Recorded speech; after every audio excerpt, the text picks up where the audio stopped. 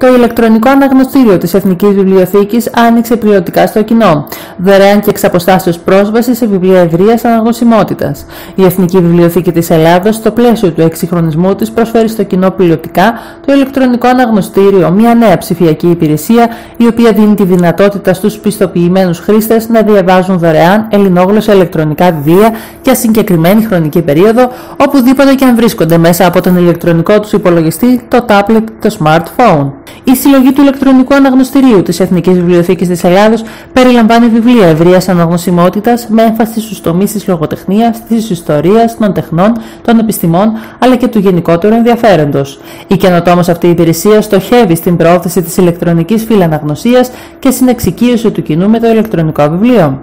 Ειδικότερα είναι μια πλατφόρμα η οποία διαθέτει περισσότερους από 2.500 τίτλους που προέρχονται από 14 ελληνικούς εκδοτικούς οίκους με μεγάλη εκδοτική παραγωγή ηλεκτρονικών τίτλων.